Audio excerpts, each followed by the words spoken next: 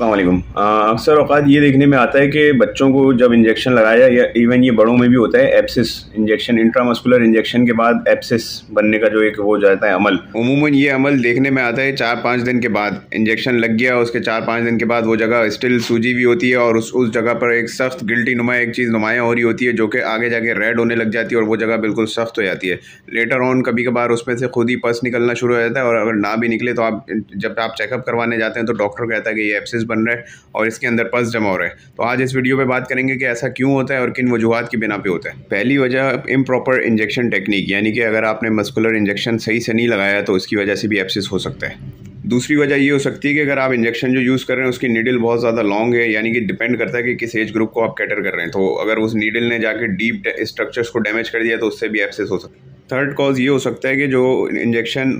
Syringe और medicine use की जा रही है, वो कंटेमिनेटेड हो या वो प्रॉपरली स्टेलाइज ना हो स्पेशली नीडल्स तो उससे एप्सिस हो सकता है। एप्सिस का फोर्थ रीज़न ये हो सकता है कि आपने जो इंजेक्शन लगाया, उससे उस इंजेक्शन साइट पर एलर्जिक रिएक्शन कॉज हो गया, जिसकी वजह से फौरी तौर पे इन्फ्लेमेशन और